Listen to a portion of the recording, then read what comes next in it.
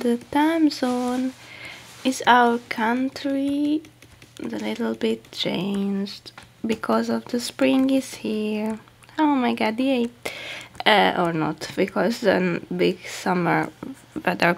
Okay, here's I'm in Terraria and welcome to my building ideas and I would like to show what I made guys. Okay, here's some little weird things but I got oh so cute.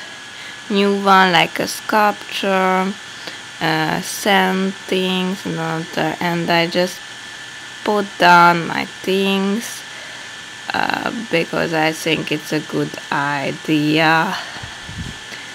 And yeah that was mechanical lenses. Uh, could be dangerous shark bait.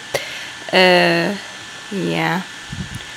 Okay I'm being attacked and I would like to bring a chest with myself for no to my house. But maybe I couldn't. That's sad. Therefore and I made a lot of bomb in my house